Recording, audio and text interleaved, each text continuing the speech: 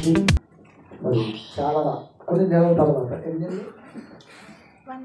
Three months one one month నవంబర్లో పెట్టేస్తారు okay laddu December birthday December okay one month three months అంటే మంచిది తిరిగి మళ్ళా మనం ఒక నెల గ్యాప్తో దైవ సన్నతి పంచుకోవడానికి కోరిక ఏర్పాటు చేసుకున్నాం ఈ సమయంలో గృహ కోరికల కారణం. ఎవరు చెప్తారు? బ్రదర్? ఎప్పుడు లేడీస్ ఫస్టేనా జెంట్స్ ఫస్ట్ పదికి పది వదులుగా చేయలేదు కదా. పదికి పది మొత్తం లేడీస్ ఏంటేనా సరే మీరే మాట్లాడినమ్మా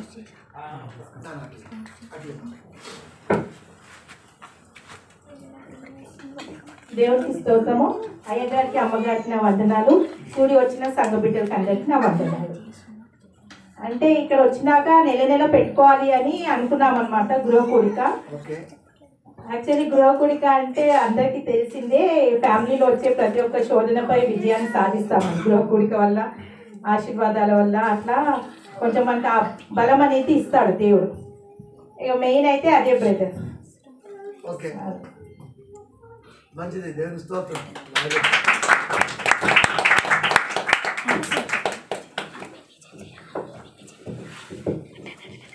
ఈసారి గట్టిగా లేచిందమ్మ వాయిస్ నీది చెప్తారు అవును నేను చెప్పింది ఏం లైలేనా మంచిది. దాన్ని బట్టి ఇప్పుడు మనం వాక్యలోకి వెళ్దాం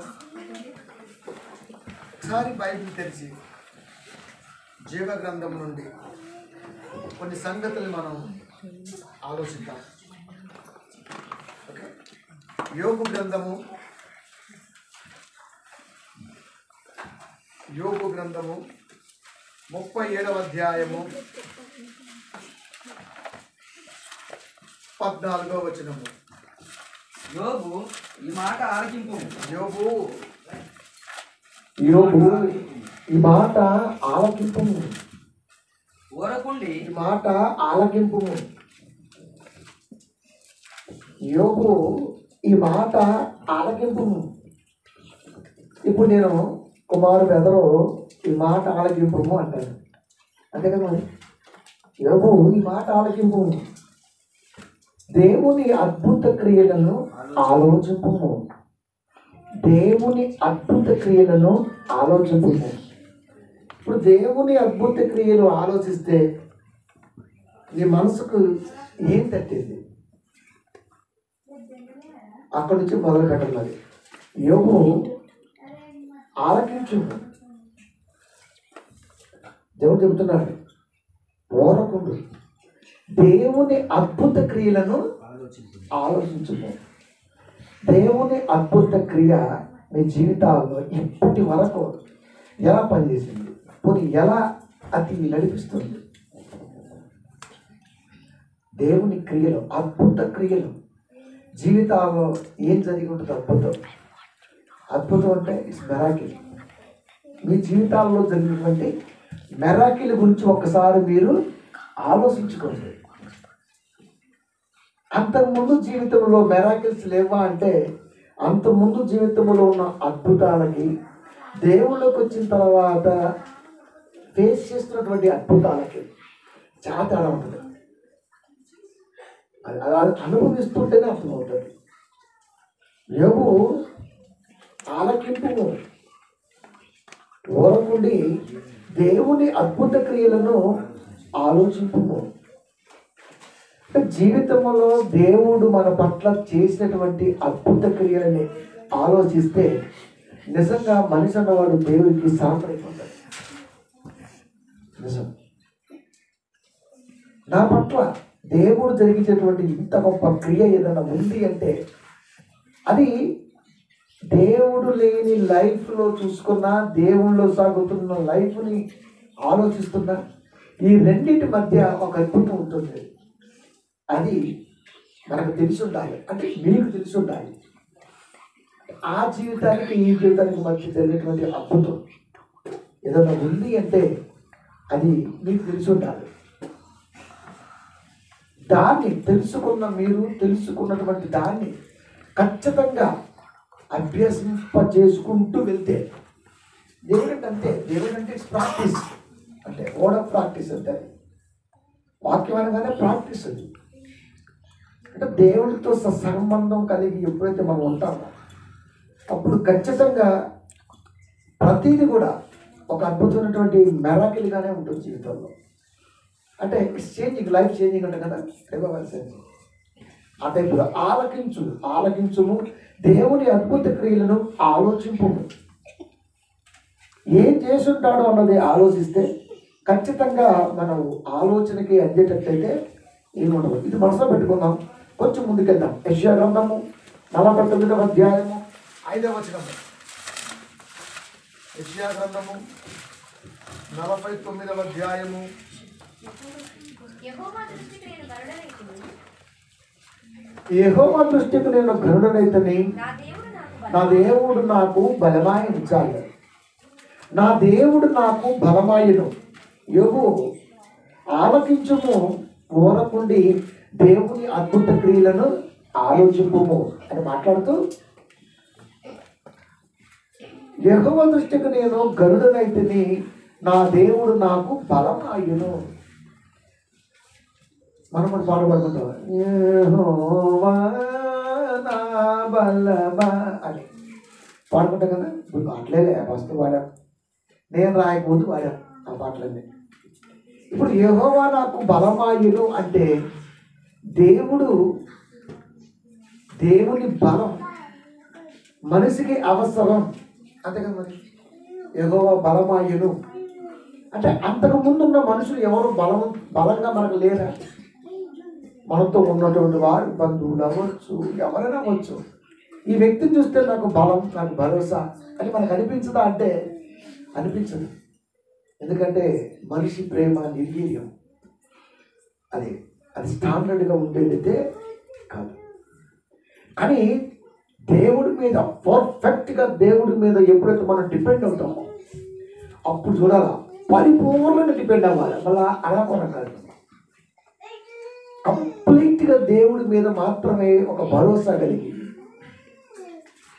అలా సాగితే ఖచ్చితంగా దేవుడు నాకు బలమాయను అన్న పదాన్ని మనం చెప్పగలం. బలం. అంటే పడిపోతున్న తలంపుల్ని ఖచ్చితంగా లేపగలిగేది దేవుడే. మనిషి లేపలేడు. మనిషి పడిపోతే మనిషి లేపుతాడు తప్ప పడిపోతున్న మనిషి తలంపుల్ని మనిషి లేపలేడు. అది ఎప్పటికీ ఎవరి వల్ల కాదు అది. కానీ దేవుడు లేపుతాడు. తలంపులు లేపితే ఆటోమేటిక్గా మనిషి లేస్తాడు. తలంపులు లేపితే ఆటోమేటిక్గా మనిషి లేస్తాడు. అది. ఈ స్థితిలో నుండి పడిపోతివు నీవు. మనిషి పడితే మనిషి మనిషి చెప్తాడేమో కానీ తలంపులు లేపగలిగితే ఆటోమేటిక్గా మనిషి లేస్తాడు. ఏంటి గొప్ప అంటే మనిషికి పదివేలు పెట్టి ఫోన్ కొనిస్తే లెక్కలో ఉండదు. ఎవడో యాభై రూపాయలు పెట్టి సిమ్ కొనిస్తాడు. దానికి మాత్రమే లెక్క ఉంటాయి ఎందుకు చెప్పండి? ఆ పదివేల పనైనా వేస్తే కదా సిమ్ లేకపోతే అని మాట్లాడతాడు. మరి చర్చి ఫోన్లో సిమ్ లేదు మరి ఈ ఫోన్లో సిమ్ లేదు. ఇప్పుడు షూట్ అవుతున్న ఫోన్లో సిమ్ లేదు సిమ్ లేదు అనేది ఏ క్లాస్ పని చేస్తుందని కనుక మనిషి నాలెడ్జ్ అనేది నిల్ కనుక దేవుడు నాకు బలమాయను అంటే పడిపోతున్న స్థితిగతుల నుంచి ఖచ్చితంగా మనిషి అన్నవాడు లేపలేడు కానీ దేవుడు లేపుతాడు. అందుకే యహోవా నాకు బలమాయను. అది అద్భుత క్రియలు ఆలోచించు. నీకు నువ్వు ఆలోచించుకుంటే నీ స్థితి మొత్తం సురాలకు తెలుసు నాకు అంతకంటే బాగా తెలుసు. షార్ట్ బాయ్ కానీ మరి ఒకేసారి నేను ఎప్పుడు చెప్తూ ఉంటాను మనిషి అన్నవాడు ఎప్పుడు ఒకేసారి మారాడు అంటే నిన్న మనది. ఒక పిల్లడు ఒకేసారి ఎదిగితే మనం ఎలా నమ్ముతామా? నమ్మం. మార్పు అనేది ఎలా వస్తుందంటే మార్పు అనేది ఆలోచనతో ముడిపడి వస్తుందని మార్పు ఎలా వస్తుంది సార్ ఆలోచనతో ముడిపడి వస్తుంది. ఆ ఆలోచనతో ముడిపడటానికి ముందు మనిషి తడబడతాడు కింద పడతాడు. అలా. తడబడతాడు కింద పడతాడు. తర్వాత ఆలోచిస్తాడు. నెలలో పది సార్లు పడ్డాడు. ఈసారి ఐదు సార్లు పడతాడు. పట్టం అయితే పక్క. ఆ విషయంలో డోకా లేదు. పట్టం అయితే పక్క. కానీ పదిసార్లు పడ్డాడు. ఐదుసార్లు పడతాడు. తర్వాత కాలగమనములో ఒక్కసారి పడతాడు. ఆ తర్వాత నీ పాదములు తొట్టెలకున్న దేవుడు కాపాడతాడు. అప్పుడు వాడే పదం దేవుడు నాకు బలమాయను. దేవుడు నాకు బల యెహోవా నాకు బలమాయను. దేవుడు నాకు బలమాయను. అద్భుత క్రియలు ఆలోచిస్తుంటే పడుతున్న మానవ జీవితంలో ఆయన బలం బాగా పనిచేస్తుంది. మెడిసిన్ కూడా అంతే. తల్లపు కూడా వేసుకుంటాం అది తల్లప్పుడు గుర్తొచ్చింది రాసుకుంటాను అది ఎలా ఉంటుందంటే ఒకసారి తగ్గదు. ఇప్పుడు మెడిసిన్ ఉంది. ఒకసారి తగ్గిద్దా? వేసుకున్న సెకండ్ తగ్గాల? వేసుకున్న సెకండ్ తగ్గిపోవాలి. ఇప్పుడు నేను బాగా అయిపోవాలంటే కుదరదు అది. అది లోపలికి వెళ్ళాలి. పని చేయాలి. లోపలికి వెళ్ళి పని చేయాలి అది. ఏది? మెడిసిన్. మరి వాక్యం అంటే ఏంటి? వాక్యం అన్నా కూడా మెడిసినే కదా. వాక్యం అన్న కూడా మందే. వాక్యం కూడా మందే. చాలా మంది టెంప్ట్ మైండ్ ఉంటుంది. దేవుళ్ళకు రాగానే నేను నిలబడి పోవాలా దేవుళ్ళకు రాగానే. అది కాదు. అది ఎప్పటికైనా ఏమవుతుందంటే ఆ నడనా జీవితం అవుతుంది. అంటే పడుతూ లేస్తూ పడుతూ లేస్తూ ఎప్పుడైతే మనిషి నిలబడతాడు. అలాగే చెప్పేసి ఐగా చెప్పేసి చెప్పేసి మళ్ళీ రొట్టెలు ఇరవై నాలుగు పడబడదు అంటే వీళ్ళు చెప్పారు ఒక మనిషి నెలలో పది సార్లు పెడితే వచ్చే సంవత్సరంలో ఒక నెలలో ఆయన నాలుగు సార్లే పడాలి. అంటే లేవాలి. అంటే తగ్గాలి. ఆ మైనస్ క్యాడర్ ఏదైతే ఉందో అది తగ్గాలి. అప్పుడు దేవుడు నాకు బలమాయను ఎగవ నాకు బలమాయను అప్పుడు ఏమవుతుందంటే ప్రతి దాంట్లో నుంచి మనిషి ఎదగడానికి ఆస్కారం ఉంటుంది అవకాశం అయితే పక్కా ఉంటుంది. అంటే దేవుని అద్భుత క్రియను ఆలోచిస్తుంటే నా స్థితి ఏంటి? వన్స్ అప్ టైం దేవుడు లేని జీవితం. దేవుడు ఉన్న తర్వాత స్థితి ఏంటి? దేవుణ్ణి బలంగా నేను నమ్మిన తర్వాత స్థితి ఏంటి? ఇప్పుడు దేవుళ్ళు సాగుతున్నప్పుడు నా స్థితి ఏంటి? ఎప్పుడైతే ఇది మనం గ్రాఫ్ క్యాల్కులేట్ చేస్తామో అప్పుడు ఖచ్చితంగా మనల్ని మనం కాపాడుకోగలం. మరొక వ్యక్తిని మనం కాపలాగా తలంపులు ఉండగలం. అప్పుడు దేవుడు నాకు బలమైన అన్న పదాన్ని అందుకే పౌరులకు మాట అంటారు. నేను ఎక్కడ బలహీనను ఆయన బలవంతుని చెప్పట్లా. విచిత్రం ఏంటంటే ఈ రోజున కాపులంతా పెద్ద ఉత్తమంలోకి మాట్లాడుకుంటారు ప్రతి వ్యక్తి బలహీనుడే. వాడు ప్రీచర్ అయినా వాళ్ళు లెర్నర్ కానీ దానిలోంచి ఎదిగే ఆలోచన కలిగిన వాడు మాత్రమే బలవంతుడు. నేను ఎక్కడ బలహీనుడు అక్కడే బలవంతుడు అంటే బలహీనత ఎక్కడుంటే నేను అక్కడే బలవంతుడు అంటే ఉమ్మెత్త పూలక సుయ్య స్వభావం వెనక్కి వెళ్ళిపోకూడదు ఒక మాట బలహీనపరుస్తుంది. ఒక తలంపు బలహీనపరుస్తుంది. అక్కడే ఎదగాలి. అలా ఎదగడం ఏ ఒక్క ఏ మొక్క వల్ల కాదు. కానీ ఖచ్చితంగా దేవుడు నమ్ముకున్న వాడి వల్ల అయితే అవుతుంది. అది. నేను చెప్పాను. నేను బాధపడితే కార్తమా గుంతులా ఉండేది. చాలా చెప్పారు. నిజంగా కాడితే అది గొంతులా కానీ కాడి గొంతే కానీ రాయ్. కానీ ఎప్పుడైతే పీసు గొంతు అని నన్ను అన్నారో నేనేమి ఫీల్ అవ్వాల? నిజమే కదా మరి? పీసు గొంతే కదా. మరి దీన్ని ఇప్పుడు పీసు గొంతుగా ఎలా చేయాలి? పీస్ అంటే శాంతి. క్రీస్తు. దానికి ఎలా మార్చాలి ప్రాక్టీస్ చేశాను ఎస్పి బాల్ కూడా పాడటం. నేను పాడే గమకాలు కానీ నేను పాడే పాదాలు కానీ నిజంగా చెప్తున్నా నేను. అడుగు చేస్తున్నాడు నేను ఖచ్చితంగా రోజుకు ఒక ట్వంటీ మినిట్స్ సాంగ్స్ ప్రాక్టీస్ చేస్తాను అది ఏ పదాలు పక్కన పెట్టాడు నాకు పాదాలు గమకాలు లయ శుద్ధి తప్పకుండా ఆ మెయిన్ స్పింగ్ మెయిన్ సింగర్ ఎవరైతే ఉండో వాడు పాడుతుంటే వాడితో పాటు వాయిస్ లిరిక్ నేను ప్రాక్టీస్ చేసుకుంటా నాకు అవసరం అది. నేను టీచర్ నాకు అవసరం అది. చెప్పండి మీరు? మరి కీర్తన టీవీ అని కలిశాడని మరి మొదటి రోజున మనకు అన్ని దేవుడు అనుకూల పరుస్తాడు ఖచ్చితంగా. అప్పుడు మీరు ఎందుకు ఎంత ప్రాక్టీస్ ఉంది మీకు అటువంటి? ప్రాక్టీస్ మేక్స్ మ్యాన్స్ పర్ఫెక్ట్ అన్న ఆలోచన నమ్ముతారు. నిజం పడుకునేటప్పుడు ఖచ్చితంగా ఒక ట్వంటీ మినిట్స్ సాంగ్స్ ప్రాక్టీస్ చేసి పడుకుంటుంది. సిస్టర్ అలాగే ఉంటుంది ఖచ్చితంగా కలుపుతారు వాయిస్ని ఒక పక్క మెసేజ్ రాయాలి ఒక పక్క సాంగ్స్ ప్రాక్టీస్ చేయాలి ఒక పక్క మీరు రాయాలి ఒక పక్క కబరి వర్క్ ఇవ్వాలి. ఇన్ని యాంగిల్లో స్వార్థ తీసుకెళ్ళడం అంటే ఇట్స్ నాట్ ఎ జోక్ అది నువ్వు జడ్డు రాసిన పరిస్థితి పరిస్థితి ఆ చెబుతాను జడ్జిలో ఇవాళ ఆపదమ్మా కానీ మనసుకి ఇక్కడ దాకా వచ్చింది కానీ ఇక్కడ రాలేకపోయింది. అందుకే అనౌన్స్మెంట్ కూడా చేయలేదు చర్చలు ఎందుకంటే ఆపుదామని ఆలోచనతో చేయలే. అది. కనుక కానీ దైవ సంఘ జన అందుకనే మూడున్నర కల్లా మొత్తం వర్క్స్ అన్ని క్లోజ్ చేసేసి ఒక గంట సేపు రెస్ట్ తీసుకున్నాం. రెస్ట్ తీసుకుని మళ్ళీ నీకు వరకు ప్రిపేర్ అయినా.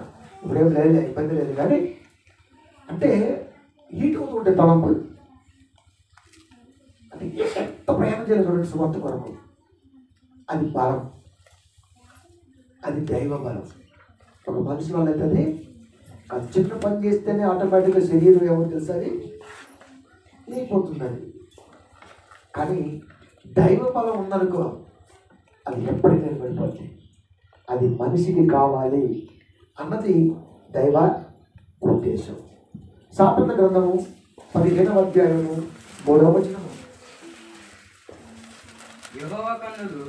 ప్రతి స్థలం మీద యెహోవా కన్నులు ప్రతి స్థలము మీద యహోవా కన్నులు ప్రతి స్థలము మీద ప్రతి స్థలము మీద ఉండదు ప్రతి స్థలము మీద ఉండదు అంటే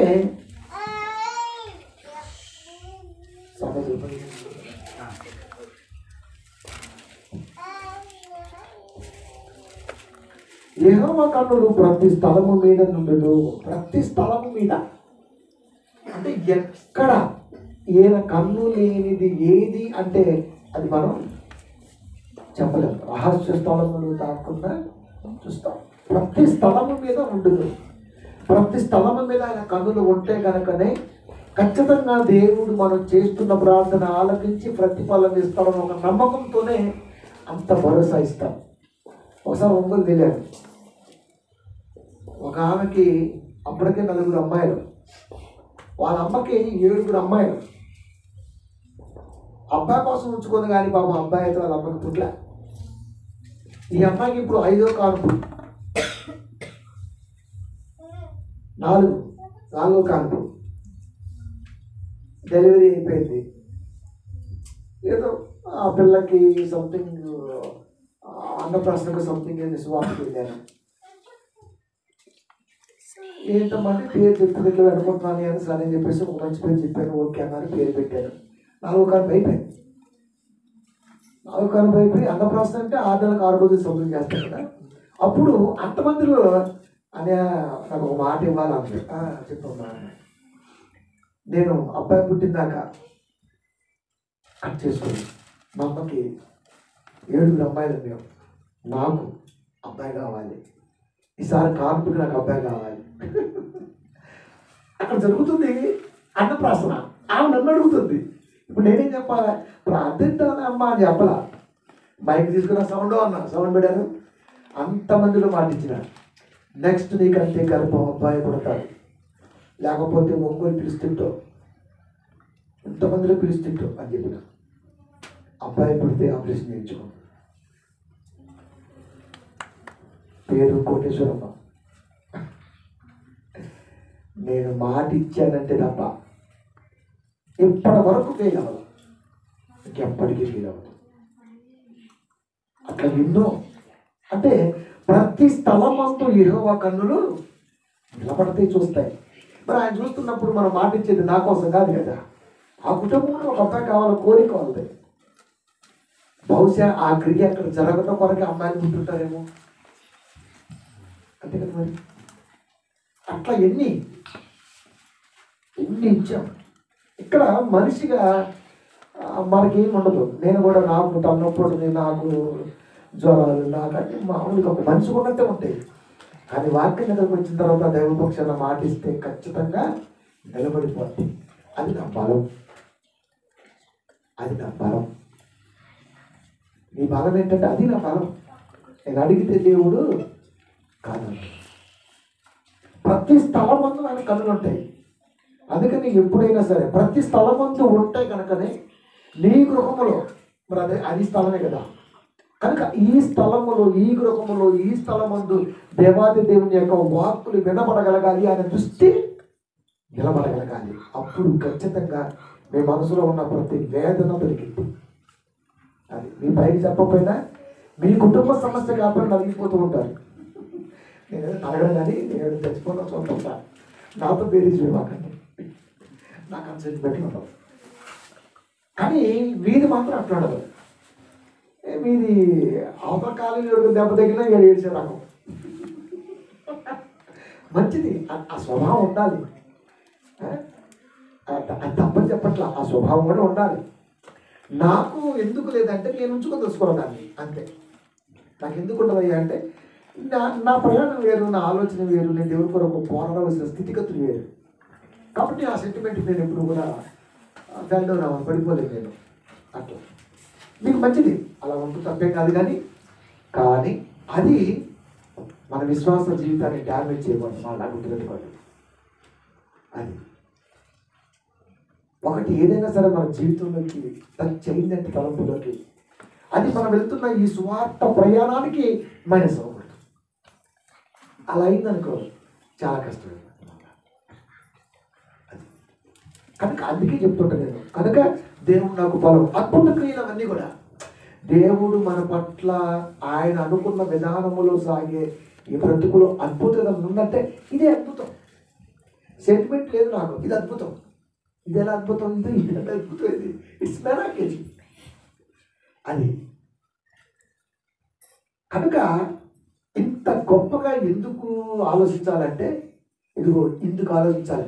ప్రతి స్థలం ముందు దేవుని కన్నులు నిలబడతాయి కాబట్టి ఆ స్థలములో దైవ వాక్కులు ఆ కుటుంబానికి కావలసిన భరోసాని దైవజనుడు ఇవ్వగలిగితే ఆ ప్రాంతం ఖచ్చితంగా దైవ సంగతితో స్ప్రెడ్ అయ్యే అవకాశం ఎక్కువ ఉంటుంది.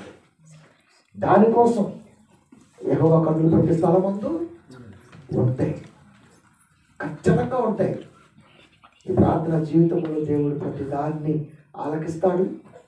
దైవజనుడు నాటి దాన్ని పలికిస్తాడు నీకు మంచి భరోసాని కల్పిస్తుంటాడు. ఇబ్బంది విషయ గ్రంథము. నలభై మూడవ అధ్యాయము.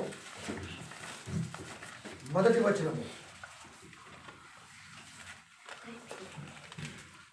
అయితే యాకోబు నిన్ను సృజించిన వాడు యెహోవా ఇజ్రాయేలు నిన్ను నిర్మించిన నేను నిర్మించడానికి సెలవిస్తున్నాడు నేను నిన్ను విమోచించి ఉన్నాను భయపడకము పేరు పెట్టి నిన్ను పిలిచి ఉన్నాను. నీవు నా సొత్తు.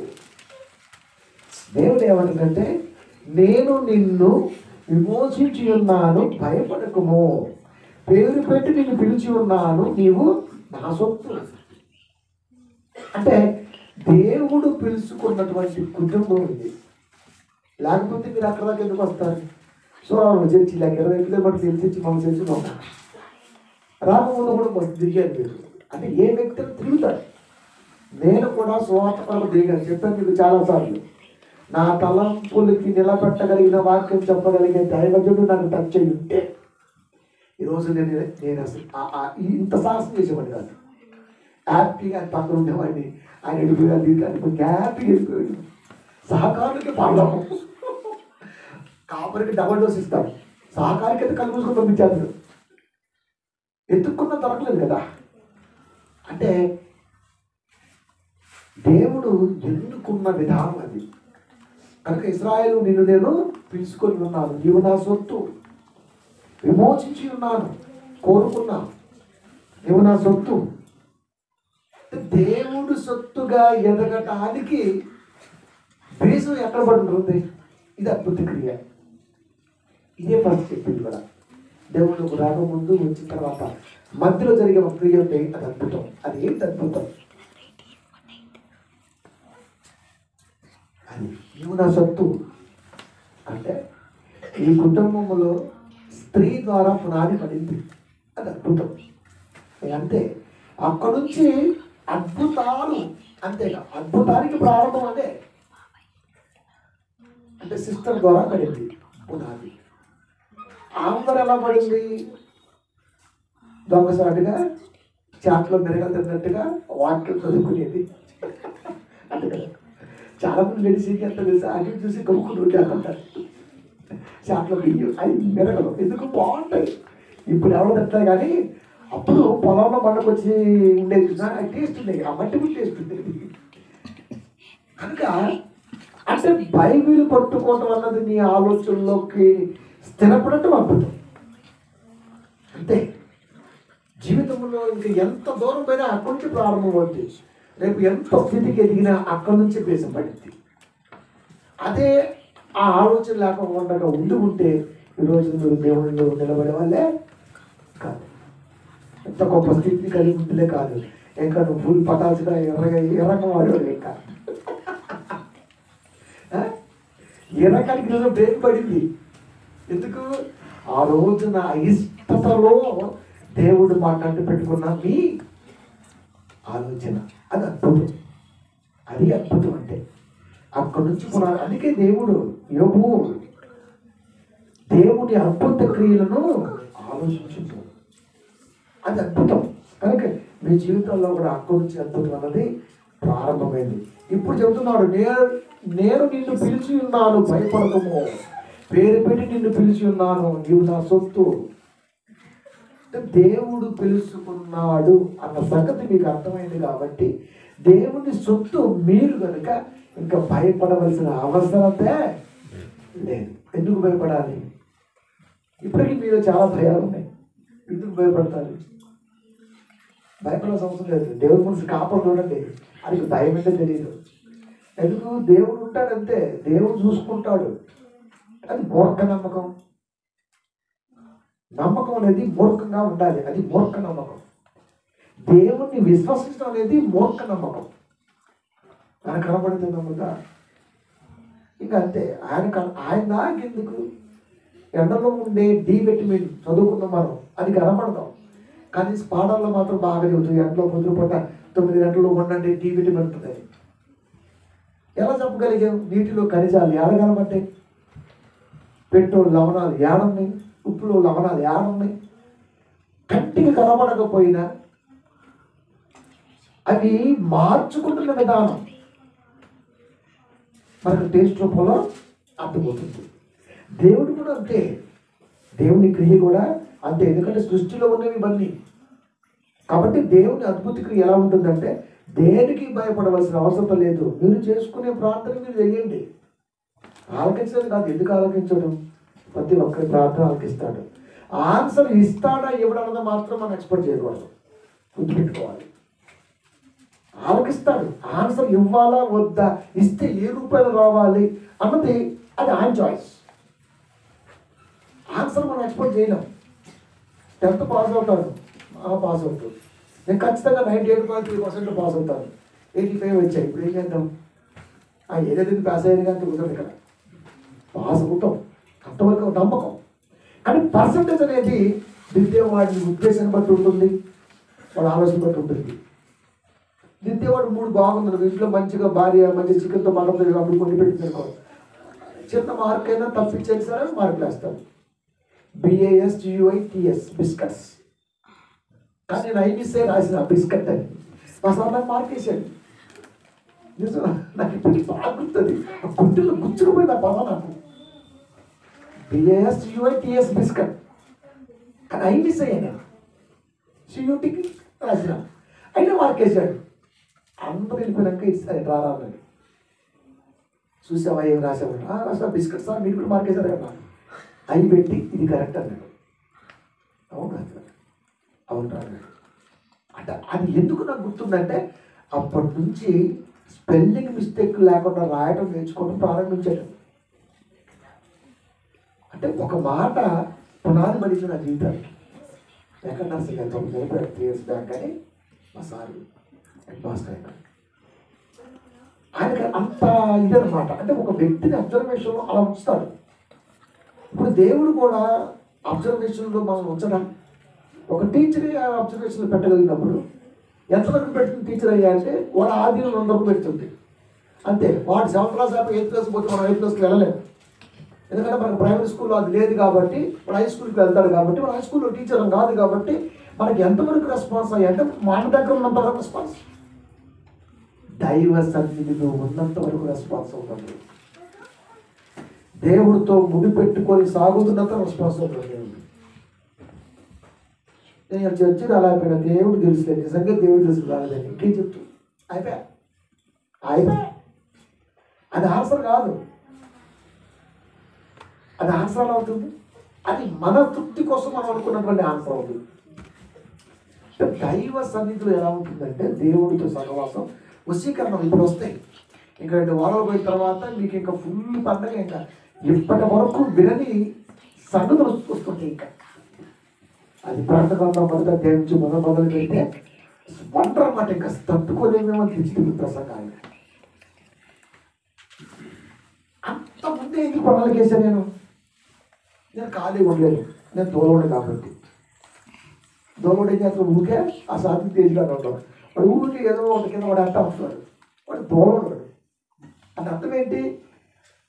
ఆయనకి ఇష్టం అట్లా. నాకు కూడా బైబిల్ని కెలకటం ఇష్టం. ఎంత కిలికితే అంత బయటకు వచ్చేది ఎంత చితికితే ఎంత చిలికితే అంత బయటకు వచ్చేది అందుకే ఎప్పుడు తిరుగుతూ ఉంటాను బైబిల్ని.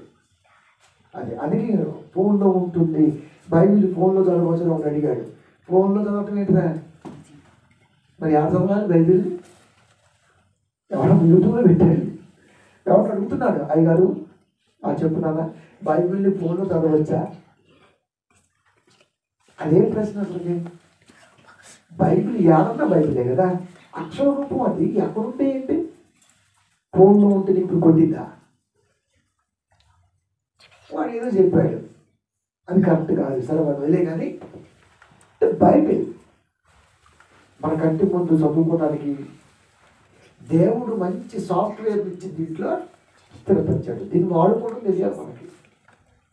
కనుక నీవు నా సత్తు నేను నిన్ను పిలిచి ఉన్నాను. దేవుడు పిలిచి ఉన్నాడు. ఆయన నాకు బలము అద్భుత క్రియను ఆలోచించండి నన్ను అంటున్నాడు. కనుక దేవుని సొత్తుగా ఉన్నంత వరకు ఖచ్చితంగా ప్రతి దాంట్లో విజయాన్ని పొందుకుంటూనే వెళ్ళిపోతుంటాడు ఇక విజయం పొందుకునేటప్పుడు దెబ్బలు అంటవా? సహజం. కబడ్డీ ఆడటం గెలుతాం డబ్ల్యూడబ్ల్యూడబ్ల్యూ బిసి బిసి గుద్దుకుంటూ గెలుతాం చిన్న బెల్ట్ కోసం కొట్టుకుంటూ బెల్ట్ లేకుండా దెబ్బ తగ్గుద్ది కానీ విజయం మాత్రం తగ్గింది దెబ్బలు తగలకుండా ఏ విజయము దరిచారదు ఎస్పెషల్లీ క్రైస్తవ బ్రతుకులు అంటే అదే మనం మంచి పోతున్నాయి ఇదేంటప్పా ఎట్లా బాధ పెట్టారు? ఎదురవుతుంది అప్పుడు ఓకే. ఇది కూడా ఒక మంచిదే. ఒక ఇలా కూడా మనం ఫేస్ చేయొచ్చేమో కొత్త యాంగిల్ అది. అట్లా. కనుక ఇన్ని రకాలుగా ఇన్ని రకాలుగా మనం కోరుతుంది మంచి కదా. వాళ్ళు మనం మన పబ్బుకు రమ్మన్నా ఆ పబ్బుకు రమ్మన్నా సన్నిధానికి రమ్మంటే వాళ్ళని నా బాటలు పెట్టారు మనం. గాయం అవుతుంది ఓకే ఇది కూడా మనం ఓ ఇలా కూడా మనకి గాయం అవుతా రైట్ అంటే ఇలా కూడా ఫేస్ చేసుకోవచ్చా? ఒక అనుభవం. అది అద్భుతం. అది ఇస్ మెరాకిల్ అద్భుతం అనగానే ఆకాశంలోంచి వచ్చి దేవుడు తెల్ల అసలు దేవుడు తెల్లగెదుకుంటాడు దేవుడు నల్లగెదుకుంటాడు దేవుడు ఈ వర్ణాలతో ఏం పని? అని వర్ణించలేం కదా? వర్ణింప వసింపకాని సఖ్యం. అంటే అర్థం ఏంటి? దగ్గరికే వెళ్ళలేనోడికి ఆయన రంగు ఆయన ఆలోచన ఎలా తెలుస్తుంది ఆయన వైట్ బ్లాక్ ఎలా తెలుస్తుంది? దేవుడు తెలిపి దెయ్యము కూడా తెలిపాడు దెయ్యము తెలిపి దేవుడు తెలిపాడు దేవుడికి మరణం ఉండదు. మన ఆలోచనకు అందేదే కాదు. కాబట్టి ఇలాంటివన్నీ క్రియేట్ చేయడం వల్ల ఏమవుతుందంటే గాయం ఉంటుందండి ఆ గాయం నుంచి నిలబడగలిగే స్థితిలో మీకు ఎదగలిగిన రోజున ఖచ్చితంగా అద్భుతంగా ఉంటుంది అది ఎలాగైనా వస్తాయి. మంచి మంచికి మంచి మాట చెప్పాం. అవతల నుంచి ఫాస్ట్గా మనకి రెస్పాన్స్ అనేది నెగిటివ్ వచ్చేస్తాయి. అప్పుడు వెంటనే మనం ఏమవుతుంది సార్? టెంప్ట్ అయిపోతుంటాం మనం. నేనైతే హ్యాపీగా నవ్వుకుంటా ఓహో అని. ఎందుకు? అంటే ఎదగటం అంటే ఇది. అప్పుడు ఎప్పటికీ కూడా అస్సలకి ఆ ఉమ్మెత్త పువ్వుకి ఉన్న గుణం మనకైతే రాదు. అంటే ఎప్పుడు హ్యాపీగా ఉంటారు మనసు ఉంటుంది. దాన్ని బట్టైనా సరే ఎదుటి కూడా ఆలోచించాలా? వీడు ఎందుకు ఇంత హ్యాపీగా ఉంటుందండి అలా అందించగలిగే స్థితిలోకి ఎదగాలి. ఎందుకంటే నీవు నా సొత్తు. దేవుడి సొత్తు ఎలా ఉండాలా? సీఎం కొడుకు ఎలా ఉంటాడు? ఎలా ఉంటాడు? అది ఆడిందే అంటే ఆడు పాడిందే పాడ ఆడికి ఎదురే మనం లాభం కంట్రోల్ ఉంటుంది. అంతే కదా? మరి దేవుడి సొత్తు అంటే మరి దేవుడు వాసన అంటే మనకేమో లాభాలు ఉంటుంది కదా ప్రతీది మనకు కంట్రోల్ ఉంటుంది. ప్రతిదంటే అంటే దెయ్యం విసే తంత్రాల ఉచ్చులు. ఏదైనా కానివ్వండి దాని మీద విజయాన్ని సాధించడానికి సొత్తు అని నిలబడ్డ వాళ్ళు సిద్ధంగా ఉంటాడు ఇవన్నీ మెంటల్కి సంబంధించినవి మనసుకు సంబంధించినవి ఇవన్నీ కూడా. ఇది ఎప్పుడైతే మనసు అనేది రాక్ సాలిడ్గా ఉంటుంది దృఢంగా ఉంటుందో అప్పుడు ఖచ్చితంగా దైవ ఉద్దేశములు కానీ దైవ సంగతులు కానీ వృద్ధికి అవకాశం అయితే బలంగా ఉంటుంది. అప్పుడు మన బలాన్ని చూసి ఎదుటివాడు బలహీనపడిపోవాలి అంత గొప్పగా ఎదగాలి అందుకనే నీవు నా సొత్తు. నేను నిన్ను పిలుచుకొని ఉన్నాను నీవు నా సొత్తు. పిలిచాడు సొత్తు అంటున్నాడు. ఇంకా ఏమి సొత్తవలసిన అవసరం అయితే లేదు. అని భరోసా. మొదటి దశలోనిక ఐదు ఇరవై ఒకటి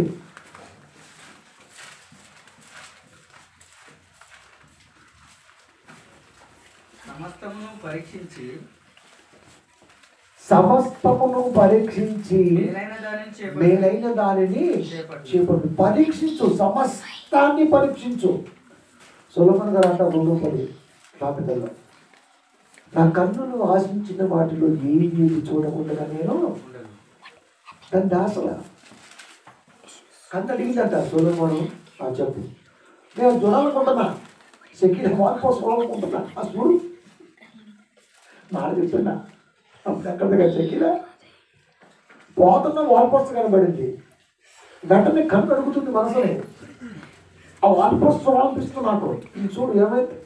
అమ్మో చూస్తే పదిహేను పడిపోతా. ఇది అతి భక్తి చూసాను నేను అబ్జర్వేషన్ చేత నిలబడి. ప్రింటింగ్ ఆడా ఈ స్టైల్ ఏంటి? స్టిల్ ఏంటి? ఏ? ఈ డ్రెస్ ఏంటి? కథ ఏంటి? బాగుంది.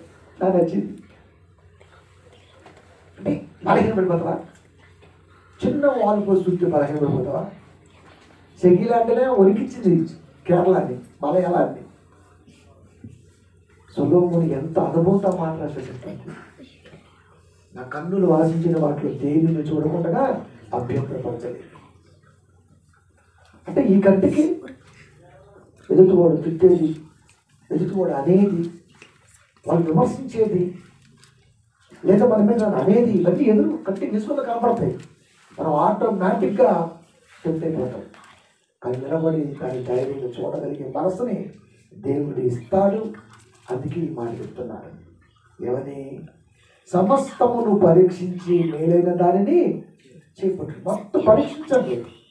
అది పరీక్షించడం అంటే మన చుట్టుపక్కల పరిస్థితులు కానివ్వండి మన కుటుంబ వాతావరణం కానివ్వండి సువార్త ప్రయాణం కానివ్వండి సంఘానికి వచ్చే విధానం కానివ్వండి మరొకటి కానివ్వండి మరొకటి కానివ్వండి ఖచ్చితంగా పరీక్షించి మేలెంత అని ఇది ఇన్ని చూసాం కాబట్టి ఇప్పుడు ఈ యాంగిలే కరెక్ట్. పరీక్షిస్తున్నప్పుడు మరలా మనం మైనస్లోకి వెళ్ళిపోయే ఛాన్స్ అయితే ఉంటుంది మనకు పెట్టుకోండి దానికి బలం కావాలి దేవుడు నాకు బలం ఆయన అది ఎప్పుడు మన పక్కనే? ఉండాలి దేవుడు నాకు బలం. ఆయన నా సొత్తు. నేను ఆయన సొత్తుని. ఇప్పుడు చెప్తున్నాను సమస్తాన్ని పరీక్షించండి. సమస్తాన్ని పరీక్షించండి. మనుషులని చుట్టుపక్కల వాతావరణాన్ని మనం ఉంటున్నటువంటి పరిస్థితుల్ని ప్రతి దాన్ని పరీక్షించి మేలైంది. ఏం చేస్తే మేలు? ఈ పని చేస్తే పదివేలు వస్తాయి. కానీ దొరికితే బొక్కలో పోయి ఆరు నెలలు రావు. ఏది బెస్ట్ ఇవన్నీ పని ఉంటాయి రెండు వందలు కానీ హ్యాపీగా ఇంటికి వెళ్ళిపోవచ్చు హ్యాపీ కాదు. ఏది బెస్ట్ రెండు వందల కంటే పదివేలే బెస్ట్ అని అనుకుంటే ఎఫెక్ట్ పడుతుంది. పదివేల కంటే రెండు వందలే చాలు అనుకుంటే దేవుడు ఆటోమేటిక్గా దాని పక్కన ఇరవై వేలు ఇచ్చే ఉంటుంది. ఎందుకు తెలుసా? అక్కడ నువ్వు తగ్గావు ఇక్కడ దేవుడు హెచ్చిస్తాడు. ఇక్కడ నువ్వు తగ్గలేదనుకో దేవుడు తగలేస్తాడు. అంటే దేవుని యొక్క ప్రయాణంలో ఎలా ఉంటుందంటే ప్రతి దాంట్లో చాలు ఏ రోజుకి ఆ రోజు చాలు. ఈరోజు నేను బయటికి వెళ్ళాను. క్షేమంగా వచ్చాను. చాలు. ఆటో నేను ఒక వర్కర్ని నేను ఒక వర్కర్ని బయటికి వెళ్ళాము చేస్తే ఇంకో గంట చేస్తే వస్తాయి. కానీ ఆ గంటలో దేవుడికి ఇస్తే ఇంకా ఎక్కువ వస్తాయి. కానీ ఆ గంట చేస్తే కంటికి కనబడుతుంది ఈ గంట చేస్తే ఆయన కంటికి కనబడుతుంది ఇది నేను నేర్చుకున్నాను ఐదు వేల బిలియన్ డాలర్ ప్రాఫిట్లో ఉన్న మా కంపెనీ ఈ రోజున. హెరిటేజ్ ఐదు స్టేట్లు నెంబర్ వన్ స్థానంలో ఉంది అలాంటి కంపెనీ కూడా ఆదివారం మేము రాము అని డైరెక్ట్గా చెప్పగలమా నేను కాకపోతే నా బాబు చాలా మంది చేస్తాను కానీ నేనే దిక్కు యా. ఇన్ని ఆలోచనతో నలభై మందిని తొక్కాలి. తొక్కడం అంటే మోసం చేయడం కాదు మళ్ళీ అనుకోమాకండి మాట అలాగే ఉంటుంది కానీ నలభై మందిని దాటి ఒక కంపెనీలో నేను నిలబడాలి. వెనకాల ఎవరున్నా బ్యాక్గ్రౌండ్ ఏది లేదు. దాన్ని ఎలా నేను ఒక మనిషిగా నేను ఆలోచించి తీసుకున్న స్టెప్ ఈ రోజున చాలా కుటుంబాలు దాంట్లో బతుకుతున్నాయి నా ఒక్కడి వల్ల. నేను అలాగే కడతా కుటుంబాన్ని. డబ్బులు ఇస్తే ఆనందం చేసుకుంటాడు. లైఫ్ ఇస్తే బాగుపడతాడు. నేను రెండోది ఇస్తా కానీ చాలా మంది డబ్బులు ఇచ్చామని అడుగుతారు ఏం బెస్ట్? అవి తెలియదు పాపం. జ్ఞానం లేదు కదా మరి. లైఫ్ ఇస్తే ఆటోమేటిక్ డబ్బులు వచ్చే తిరగాల. ఈరోజు ఆదివారం వస్తే ఫోన్ రావు అటు తమ్ముడు కానీ నాకు కానీ. ఎందుకు చర్చి కదా అంటుకోవద్దు డైరెక్ట్గా చెప్పడం కానీ తెలియపరచాలి అది దేవుడు చూసుకుంటాడు. కోట కంపెనీ వచ్చి పడిపోయింది. ముప్పై ఐదు వేల లీటర్లకి పడిపోయింది. మూడున్నర లక్షల లీటర్లు ఈరోజు నేను టెస్ట్ కెపాసిటీ ముప్పై ఐదు వేల పడిపోయింది. వెంటనే పిలిచారు ఫోన్ చేసి. అందరం పోతాం. నేనో పోతాం నువ్వు పోతాం. నువ్వు ఏసైకి ప్రార్థన చేయి. నిజంగా చెప్తున్నాను ఈ రోజున. నాకు అప్పుడు అనిపించింది నేను ఆదివారం నీ సన్నిధానం ఉంట కొరకే నువ్వు ఇది? డబ్బేసావు బ్రహ్మ Gujarat launch Amul. North Indian milk ఎంత అవుతుంది. అమూల్ అంటే మంచి బ్రాండ్ అది. ఒక్కసారి పడిపోయింది. మూడు లక్షలు పడిపోయింది. కంపెనీ నుంచి ఫుల్ ప్రెజర్ మా మీద ఎందుకు ఉండదు మా మీదే ఉండదు. కానీ వాళ్ళ మీద ఉంది కానీ అన్నింటిలో ఉన్న ఆయన మమ్మల్ని సేవ చేసిన మేము పోతే మీరు పోతారా మీ ఏసైకి ప్రార్థన చేయి. నెలలో కవర్ అవ్వాలి. అంతే సరే సార్ అదే అంటే ఆదివారం చేయను. అంతే. నెల రోజులు మళ్ళీ అంత వచ్చేసింది. అప్పటి నుంచి ఇప్పటి వరకు అసలు అంటుకోకుండా అంటుకోదు తన పిల్లలకి ఇబ్బంది వస్తే దేవుడు ఊరుకుంటాడా? ఊరుకుంటాడా? ఇది ఎన్ని వేల రూపాయలతో దీన్ని మనం కొనగలం? కనుక సమయం. మనీ కంటే powerful weapon time is more than అంటే సమయం అనేది దేనికన్నా గొప్పదే. దీనికంటే తక్కువ అని చెప్పలేం. డబ్బు తేగలం పొలం తేగలం ఏదో తేగలం కట్టాయని మాత్రం ఎందుకు తెలుసా? ఒకటి ఎనిమిది వందల పుస్తకాలయాల్లో కాలములు సమయములు దేవుని ఆధీనములో దేవుని ఆధీనములో సమయం ఉన్నప్పుడు దేవుని సమయాన్ని దేవుని ఆధీనం అన్న పదాన్ని ఆలోచిస్తే ఓ ఈ సమయం దేవుడిది. దేవుడి ఆధీనంలో ఉంటే. అంటే ఆ సమయంలో మనం ఉంటే మనం కూడా దేవుని ఆధీనంలోనే ఉంటాం. దేవుడు ఆదిలో ఉండటం అనేది మెరాకిల్ అని బాలం అంటే ఎంత గొప్ప చూసారు? అప్పటి నుంచి ఇప్పటి వరకు ఏం ఇబ్బంది లేదు. నడుస్తూనే ఉంటే ఇంకా చాలా అద్భుతాలు మీరు దేవుడి మోసం ఉంటారు ముందు అంటే నేను దేవుడికి ఇచ్చే సమయం గురించి చెప్తున్నాను మీకు. నేను అలా ఇస్తాను నేను వాక్యం కోసం వెతుక్కుంటాం చాలా చెప్పాను తుఫాను పడ్డ కిక్కు రాడు విరిగిపోయినా దాన్ని మొండి రాడుతో కొట్టి మరీ నేను ప్రేరు కట్టేటైన రోజులు ఉన్నాయి నాకు. చిన్న పిల్లలు మోకాళ్ళు నీళ్ళు బట్టి కలవడం స్క్రిప్ట్ అయి పడితే పడేస్తాడు దేవుడు. అంత నమ్మకం లేనప్పుడు మనం సువార్త ప్రయాణం చేయలేం. నేను వెళ్తున్న ప్రయాణంలో దేవుడు మీరు మనం చెప్పారు మంచి మాట. ప్రభా ఈ రూట్లో వెళ్తున్న ప్రభా చీకటిగా ఉంది సువార్తకు ఆసక్తి ఉంది కానీ ఎక్కడో కొంత భయం ఉంది. వచ్చేటప్పుడు చూసా వీటి లైట్లు ఉన్నాయి. నేను సిస్టర్తో అంటున్నా మనం అనుకున్నారంట మా సిస్టర్ ఎట్లా నిజమే కదా మరి? అది ఎవరి కొరకు వేసాడని కాదు. మన కొరకు దేవుడు ఆ మాట ఉంది బైబిల్లో నేను కావాలని చెప్పట్లేదు మీకు. మీకు సామెత గ్రంథం ఉండాలి ఇరవై ఐదు వచ్చిన కింద కాదు ఉంటుంది. అది. ఇప్పుడు ఆ మాట చూద్దాం ఒకసారి. చూద్దాం ప్రసంగి గ్రంథమా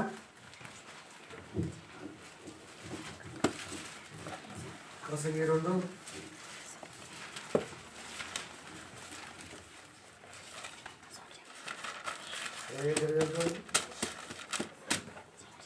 ఇరవై ఆరు.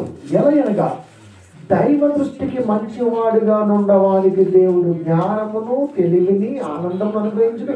అయితే దైవ దృష్టికి ఇచ్చుటకు వానికి ఇచ్చుటకై ప్రయాసపడి పోగు చేయు పనిని ఆయన వాక్మునికి నిర్ణయించును.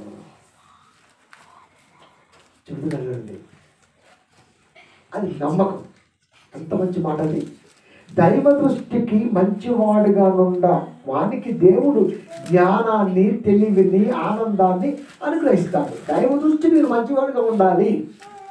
మనుషుల దృష్టికి ఎప్పటికీ మంచివాడుగా ఉండలేమప్ప.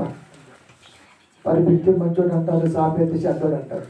తెలుగు సామెత కింద కూర్చోబెడితే ఎన్నో తిట్టుకుంటారు. సోఫా అయితే బాగా పోగుతారు కానీ దైవ దృష్టికి అందుకే నేను ఎప్పుడు కూడా దేవుని బేరీ చేసుకుంటాను మనుషులు బేరీ చేయను మనుషులు ఏమన్నా నాలుగు నరం లేనిది. నరం ఉంటాయి ఎలాగ తిప్పుతుంది అంటే దేవుడికి దేవుడి మీద భరోసా ఉండండి.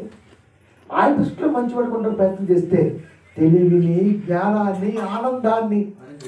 మనం ఆనందపడుతుంటే ఇది ఎందుకు ఆనందపడుతున్నా ఆశ్చర్యపోతుంటాడు అంటే మనిషికి ఆనందం ఎప్పుడయ్యా అంటే ఎందుకు కూడా జోకెత్తే ఆనందం?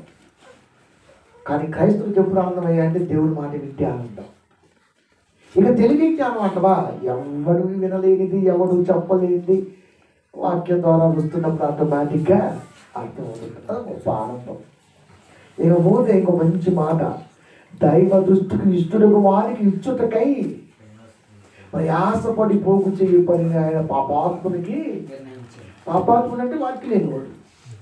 వాక్యం లేనివాడు వాక్యం ఉన్న వారి కొరకు ఆ మార్గాన్ని సిద్ధపరుస్తారు. ఈ ప్రాంతంలో ఉన్న పిల్లలు శుక్రవారం ప్రయాణం చేస్తూ బాధపడుతున్నారు. మరే ఎవరా ఇంటికి మేరెవరా లైట్ లేదు ఇంటికి. లైట్ లేదు ఊకెత్తారా? పూర్వం పుస్తకాలని పార్క్ చేయరా? పార్కు కోసం వేయాలా? కానీ ఇక్కడ దేవుని మార్కు కోసం వేయాలా? ఇది దేవుని మార్కు మనం అడిగాం. మనం బాధపడ్డాం. ఊరికి బాధపడ్డాం. సువార్త గెలుస్తూ బాధపడ్డాం. ఊరుకుంటాడు దేవుడు మరి? ప్రతి స్థలం ముందు కలుగుతున్నప్పుడు మీరు ఆటలు ఏం మాట్లాడుకుంటున్నారు? అయ్యో తెలియపోవచ్చు కదా దేవుడు తెలియదా తెలంగాణ కోసం. ఆ లైట్లు పట్టను మీకోసం. ఎవడేమనుకున్నా సరే? అది. మీరు రావాలి ఐడిపిల్లంతకాలం వచ్చి మీరు తిరిగారా? లేదే అప్పుడు లైట్లు ఉన్నాయా? మరి ఇంతకాలం ఎందుకు తిరిగాము? ఆడ వచ్చి ఆరేళ్ళు అవుతుంది. అంతకుముందు ఒక పదేళ్ళు పరిపాలించాడు ఎప్పుడు లైట్లు లేవు కదా. మీరు రావటం మీరు బాధపడటం దేవుడు వినటం ఒకరిని లేపటం కార్పొరేటర్ని కౌన్సిలర్ని.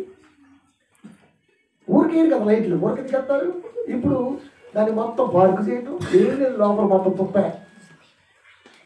లైట్లు వేసాయి మొత్తం అంటే కార్ లైట్లు ఆపు కూడా రావచ్చు. అంత గొప్ప ఉన్నాయి మరి ఎవరు కొరికేశారు ఇది మెరాకి కాదా ఇది అద్భుతం కాదా? అంటే ఇలాగ ఉంటాయి. మనం ఎక్స్పెక్ట్ చేయనివి మన కోసం జరుగుతుంటాయి. అందుకే ఆ పదార్థాలు జరగదు. దైవ దృష్టికి ఇష్టు ఇష్టడకు వానికి విచ్చుటకై ప్రయాసపడి పోగు చేయు పనిని పాపాత్ముడికి దేవుడు అప్పుడు రైట్ నువ్వు చేయి. ఆ పని నువ్వు చేయాలి. అంతే. ఎవరు చేయాలి? వాక్యం ఎన్నోడు చేయాలా? అధికారులు వాక్యం ఉంటుందా? లేదు. వాడు చేస్తాడు. మన ఒంటి గంటకు వచ్చినా ఫుల్ రష్ ఉంది. ఫుల్. ఎంత బాగుంది? హ్యాపీగా ఐదు నిమిషాల్లో ఆడు నుంచి వచ్చేయచ్చు. ఇది దేవుడు తన పిల్లలు నా సొంత వరకు వాళ్ళ కొరకు చేస్తే ఒక మంచి అద్భుతం. ఇట్స్ మెరాకి అది అప్పుడు దేవుడు నా బలం. నా బలం ఏంటంటే ఇదే. ఈ నమ్మకంతో ఇలా ప్రయాణం చేస్తూ ఉంటే ఇంకా ఎన్ని ఆనందాలు పొందుకోవచ్చు చూడండి. ఐదు ఇరవై ఒకటి దశలోనిక. మొదటి దశలోనిక.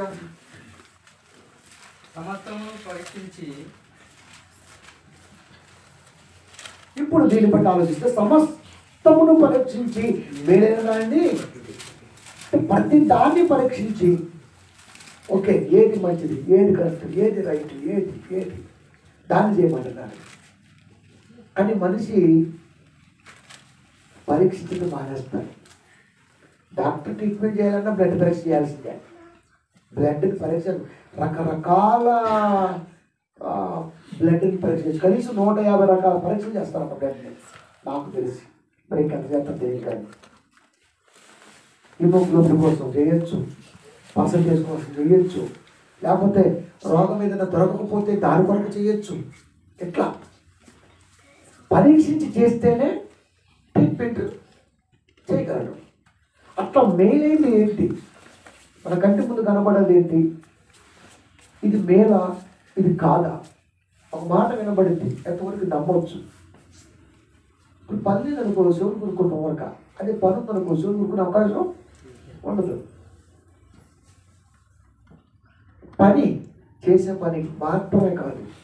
బైబిల్ని వింటాం చదువుకోవటం కూడా మన పనులే పని కాదు. బైబిల్ ముందేసుకున్నాం. ఏం చేస్తున్నాం? పనులు ఉన్నా. చదివే పను వాక్యం వినో పను ఏదైనా పని కదా. అంటే పని ఉన్న వాడికి పనికి మళ్ళినటువంటి ఆలోచన రాదు. కూడా చెప్పిన ఏమి వినటానికి మనసు అంగీకరించదు. లేకపోతే ఎవరే చెప్తారా? ఎవరి నోట్లో నూరు పెడదావా ఏం పెడదావా వాళ్ళకేం పని ఉండదు చెప్పండి. అది. కనుక ఈ విషయంలో కూడా జాగ్రత్తగా ఉండాలి వాళ్ళ అంటే సహవాసం. ఇక్కడ మొత్తం ముడిపడి ఉంది అంటే సహవాసం. నువ్వు ఉండే ఫీల్డ్ కానీ నువ్వు వెళ్తున్న మార్గంలో కానీ అట్లా. ఎవరున్న ఫీల్డ్ వాళ్ళు ఎంతవరకు ఎంతవరకు మనం దీన్ని తీసుకెళ్ళగలగాలి? ఉండగలం. ఇంత జాగ్రత్తగా ఆలోచిస్తే దెబ్బ పడుతుంది జీవితం? తప్పదు కదా. దెబ్బ పడుతుందంటే ఖచ్చితంగా ఎవడో ప్రేరేపించుంటే దెబ్బ పడుతుంది లేకపోతే కాబట్టి మేలైంది. మేలైంది ఏంటి? టైం ఆడ్ అవుతుంది. ఇప్పుడు ఏం చేయాలి? వాళ్ళ గురువారం శుక్రవారం కాదు కదా. శుక్రవారం కాదు కదా తెలుసు కదా. శుక్రవారం అయితే బాగుంది డబ్బా చర్చికి మరి తినవచ్చు కదా ఆరింటికి. మాట చెప్తున్నా తొమ్మిది చేసుకున్న కష్టం ఇబ్బంది లేదు. కానీ టైం ఎంత అన్నది కదా కుటుంబానికి ఇచ్చేది సక్రమంగా గమ్యం చేరావా లేదన్నది మాత్రం పాయింట్ ఉంటుంది దైవ టైంలో దైవ సమయంలో దైవజనుడు చూస్తాడు దేవుడు చూస్తాడు అది ఆయన సమయం. మిగతా సమయం కుటుంబంలో భార్య పిల్లలు చూస్తారు. అంటే బయటికి వెళ్ళిన వ్యక్తి సేఫ్గా సేఫ్టీగా ఉన్నాడా రాగలుగుతున్నాడా అది ఒక అద్భుతమైన భరోసా కుటుంబానికి కొంత బాధ్యత నీ మీదే ఉంది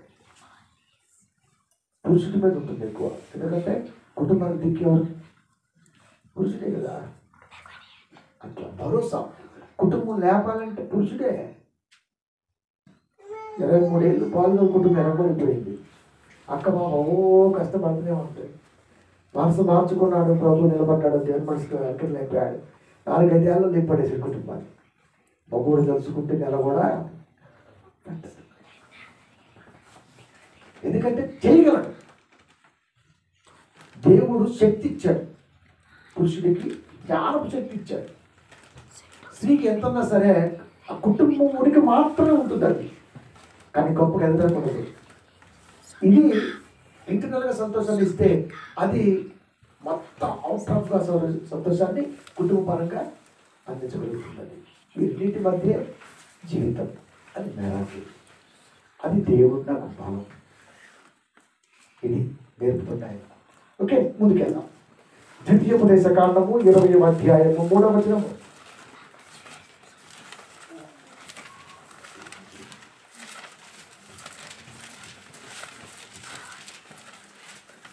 ఇజ్రాయేలులారా వినుడి ఉమ్, నేడు మీరు మీ శత్రువులతో యుద్ధం చేయుటకు.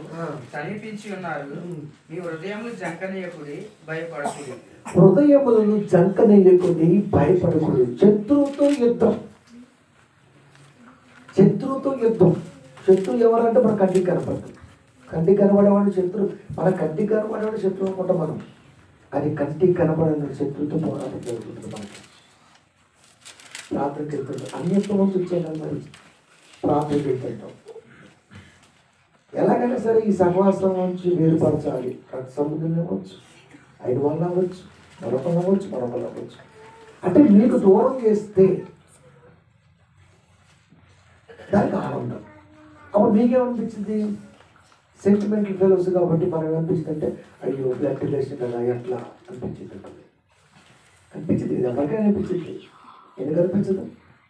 బాధపడిపోతున్న పోయినసారి బాధపడలేదు ఆ పాట అది అందుకే రాశాను ఊరే దాటి వెళ్ళిపోయే వారికి వాళ్ళ వచ్చే అవకాశం లేదు. అని బాప్తిషం లేదు. అసలు నాకు తెలుసు. తండ్రి నేనేమో సేవ జీవితంలో ఉన్నా. అందుకే బాప్తిషం లేదు. ఎట్లుంటే చెప్పండి? ఎంత బాధ చెప్పండి? కనుక ఇలాంటివి ఎన్నో ఎదుర్కొంటే మనకి. అందుకే దేవుడు చెప్తున్నాడు మీ హృదయములను జక్కనియండి ఇప్పుడు హృదయాన్ని ఎందుకు జక్కనియాలి ఇప్పుడు అమ్మగారు చెప్తుంది అంత రాక్ సాలిడ్ హార్ట్ నాకు ఎప్పుడు వచ్చిందని నాకు ఉండగా చాలంట నేను మొత్తానికి ఇవ్వచ్చు కానీ పాలు బాగు ఇవ్వడానికి లేదు ఇక్కడ. అది జ్ఞానాన్ని ఇవ్వలేము దేన్ని ఇవ్వలేము ఏది ఏది ఇవ్వాలన్న దేవుడే ఇవ్వాలి. హృదయాన్ని జక్కనీయకుడి కలవరపడనీయకుడి అంటే ఈ రెండు మనుషులు కూడా చేస్తాడు ఆటోమేటిక్గా ముగిపోయే ఉంటుంది చంపుకుంటుంది హార్ట్ కలవరపడనీయకుడి కలవ ఎలా వస్తుంది? ఇలాగే వస్తుంది. ఎందుకు? యుద్ధానికి చుట్టుపడ్డం. అంటే దైవ సన్నిధానానికి రావటం యుద్ధం. ఎన్ని ఆటంకాలు వస్తే మా విషయం నేను అన్ని దాటుకొని వచ్చాయి కాబట్టి నాకు అలవాటు అయిపోయింది. అది ఎందుకంటే నేను చెప్పాను మీకు ప్రమాదానికి ఎదురెళ్తున్నాం ప్రమాదానికి ఎదురెళ్ళే మనసు నాది ఎందుకంటే చూద్దాం దేవుడు గెలుస్తాడా దెయ్యం గెలుస్తుందా దేవుడు గెలుస్తుందనుకో చూసేవాళ్ళు దేవుడు వచ్చే అవకాశం ఉంటుంది. దెయ్యం గెలుస్తుందనుకో మనలో భక్తి పెద్దగా లేనట్టు ఎఫెక్ట్ పడినట్టు అంటే వాళ్ళు ఇంకా బలపడిపోతారు వాళ్ళ గంటలు బలపడిపోతుంటారు అందుకే ఒక నమ్మకం. రీచ్ అవుతూ మనం గోల్ని వెళ్ళిపోతాం అంటే. ప్రయాణం చేయాల్సిందే. ఏటికి ఎదురెట్టడం అన్న సంగతి నాకు అర్థమైతే దేవుడు అంటి పెట్టుకున్న వాడు ఎదురే అనుకుంటాడు దేనికైనా సరే. అంతే. ఎందుకంటే దేవుడు మనకంటే ముందుగా సరాలాన్ని సిద్ధపరుస్తాడు. మార్గాన్ని సరళం చేస్తాడు. అది నమ్మకం. ఎందుకంటే ఆయన మీద భరోసా సాగుతున్నప్పుడు మార్గం సరాలం అవదా? అంతే. మనం తీసుకుంటూ చేయలేము ప్రభు ఈ మార్కులు నేను నీ వల్ల ఏం కాదు. ఆడ పట్టుకొని వచ్చేటప్పుడు పది మంది తీర్తిగా కానీ రెండు గంటలు పట్టింది. అదే బుల్డేజ్ నుంచి అంటే ఒక సెకండ్లో పట్టింది. బలం దేవుడు దేవుడి దారిగానే బలం ఉంది. కాదా? అంటే మన మార్గాన్ని సరళం ఎవరు చేయాలి? ఎవరు చేయాలి. అంటే కలవర పడకూడదు హృదయము బలహీన పడకూడదు అన్నప్పుడు మనిషికి ఎలా ఉంటుంది? నాకు ఉంటాడు కలవరం ఉండదు బలహీన ఉండదు. ఏదో చూసినా అనుకో కలవరం పడ నేను ఆలోచిస్తా దీనికి ఎంత వాస్తవం ఉంది? ఒక న్యూస్ వింటా రోజుకు చాలా వింటుంటాం. ఫస్ట్ ఆలోచిస్తాం దీంట్లో ఎంతవరకు నిజం ఉంది? ఎంతవరకు దీన్ని నేను తీసుకోవచ్చు? అంతే. అనవసర విషయం ఏది ఇప్పటి వరకు అమ్మగారికి చెప్పను. నేను మా ఏది ఇవ్వాలి అంటుంది. మీరు నాకు ఏది చెప్పలేదు. ఏది చెప్పాలి? దేవుని మాటలు చెప్పగలం కానీ చెప్పసిన వాళ్ళకి చెప్పలేదు. ఇప్పుడే కాదు ఫస్ట్ నుంచి. ఫస్ట్ నుంచి నాకు ఉన్న అలవాటు ఏంటంటే ఏది తొందరగా నేను బయటికి చెప్పను. అందుకే ఇంత బలంగా ఉండగలుగుతాను ఇది ఉన్న లోపల పెట్టుకుంటాను. బయటికి తీయలేదు. అది నా బలం. అదే కాస్త గుర్రనిక అలవాటు నీకు ఎలా ఉంటుందంటే నువ్వు ఒక విషయం చెప్పాలంటే ముందు సొక్కేయాలి. అది నీ బలం. టక్క పెట్టుకొచ్చేది ఆపుకోమను. అదే వాక్యాన్ని తాగామనుకో మందు కంటే కిక్కి కూర్చుంటుంది. నిజం. మందు కంటే కిక్కి వాక్యం. తాగినోడు ఎవడో మన ఇద్దరా? అంటడా ఆయన కంట్రోల్ చేయలేము మనం వాక్యం ఉన్నోడు కూడా ఎవడ మాట్లాడంటే వాడిని కంట్రోల్ చేయలేము మనం మందు కిక్కు అందుకే మందాలను తెచ్చుకోవడం తెలిసిన నీకు వాక్యాన్ని కాబట్టి నేర్చుకోవాలి. అది కిక్కి కిక్కి ఎవరంటే చెప్పు. మా నాన్న రాస్తే మా నాన్న దేవాలి అంత కదా మా మాట ఎండు కదా. ఇట్లా తినిపోతుంది మరి. అంటే తీసుకెళ్తుంది ఎవరు? వాడు లోపల కూడా ఉన్నాడు. మనిషి చేసుకున్న దానికి అంతుంటే వాక్యానికి ఎంత ఉండాలి చెప్పండి. అందుకే మనిషి నర నరాలు వాక్యం ఎక్కాలి. అప్పుడు ఏది నిన్ను బలహీనపరచడానికి సాహసం చేయలేదు. అంత పవర్ వాక్యం. అప్పుడు ఆ చదిగా పాట ఆచారాలు సంప్రదాయాలు ఆచరించే మానవ హృదయాలు ఎందుకు రాసాంది ఇదే? ఎవడో నాకు చెప్పాను మీకు శాస్త్రాలు ఎవడో పెడతాడు ఆ పిల్లకుడికి ఏం చేస్తుంది వ్యాపారికి రెండు వాడు వాడు పడి తిప్పుడు ఒకసారి. వాడికి ఏం చేసే మీరు అది కరెక్ట్గా లోపల డాగేసి కూడా రాదు నేను చెప్తున్నా. మీకు ఆఫీస్ చూడండి సార్ డాడ్ వేసుకుంటారు రానోడికి జీవితాన్ని ఎలా డ్రాయింగ్ చేస్తారు చెప్పండి. దేవుడు కొంత గొప్ప ఎవరు ఉండదు రేపేం జరుగుతుంది ఎవరు చెప్పగలడం ఖచ్చిత ఖచ్చితంగా చంద్రబాబు వస్తాడు. అని డిబేట్ జరిగింది. తీసుకుంటే రేపు చుట్టూ కూర్చోబెట్టి అక్కడ వేయాలి. ఇంకొక ఇరవై ఏళ్ళ రావాలి. మీరు రాసుకోండి కావాలంటే. ఎందుకు? ఇప్పుడు ఇరవై ఆరు జిల్లాలు చేశాడు. మాట చెప్తున్నా. దాంట్లో ఈస్ట్ వెస్ట్ కృష్ణా వెస్ట్ని ఇరవై ఏడు జిల్లా చేశాడు. ఎవరు? మధ్యాహ్నం ఇరవై ఆరు జిల్లాలు పదమూడు జిల్లాలు ఇరవై ఆరు జిల్లాలు అయ్యాయి. విజయవాడ నాలుగు చేశారు ఈ వెస్ట్ వచ్చేసి ఎన్టీఆర్ జిల్లా అయింది. ఇప్పుడు చంద్రబాబు నాయుడు పడిపోయింది. పట్టుక సొంత మామ వాడు చేయాలి పాత గిప్పులు బయటకు వచ్చేస్తున్నాయి. జగను అర్ధగంట చదువుతాడు రోజు బైబిల్. ఎప్పటికీ. అర్ధగంట చదివినోడికి ఇంత జ్ఞానం ఇస్తే శుక్రవారం అనక ఆదివారం అనక ఇప్పుడు పడినప్పుడు కుటుంబ ఆరాధనలు సంఘాలు ఐదు సమాసాలు ఇంత జ్ఞానం ఉన్న మనకి ఇంకెంత జ్ఞానం ఉండాలి? ఎంత జ్ఞానం ఉండాలి? అది పొలిటికల్ మనకు అవసరం లేదు. కొంచెం చెప్పాను మీకు అర్ధగంట వరకు. అర్ధగంట అవుతుందంట పొద్దున్న బైబిల్ వాడు అంతే తర్వాత పొలం వెళ్ళిపోతాడు. మరి మనం రెండున్నర గంటల ఐదు దగ్గర వాక్యాలంటే శుక్రవారం గంటన్నర ఎంతో లేదా గంటన్నర ఎంతో. మొత్తం వారం మీద కనీసం ఆరేడు గంటల వాక్యాలు ఏంటో ఇంకా మనం చదువుకుంటాం. మనకంత జ్ఞానం ఉండాలి? మనకంత జ్ఞానం ఉండాలి? అందుకే దేవుడు చెప్తున్నారు మీ హృదయములను కలవరపడనీయకుడి కలవరపడనీయకుడి భయపడకుడి.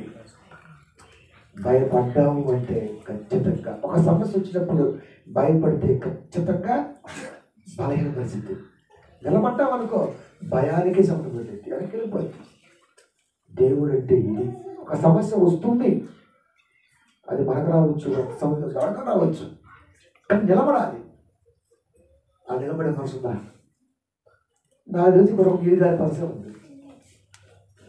అది కాస్త కాస్త నీరు నిలబడిపోయామనుకో ఏమైంది? నా దేవుడు ఉండగా బస్ అయిపోయా అది నమ్మకం అది నీ భావం అప్పుడు దేవుడు విన్న సొత్తు. విన్న సొత్తు. సొత్తు అంటే స్వాస్థ్యం. దైవ శాస్త్రంగా ఒక మనిషి ఎదగాలంటే అది అంత ఈజీది కాదు. కంప్లీట్ సెవెన్ పర్సెంట్ సరెండరే దైవ వాక్కి అది అంత గొప్పగా ఎదగలిగిన రోజున నిజంగా ఇప్పుడు నేను చెప్పిన ఈ సంగతులన్నీ కూడా మీకు మంచి ఆలోచనతో ఆనందింపజేస్తాయి అని నేను అనుకుంటున్నాను. ఇంకొక మాట చూసుకుందాం నాలుగు ఆరు ఒకటి ఆరు యాకోబు. యాకోబు పత్రిక.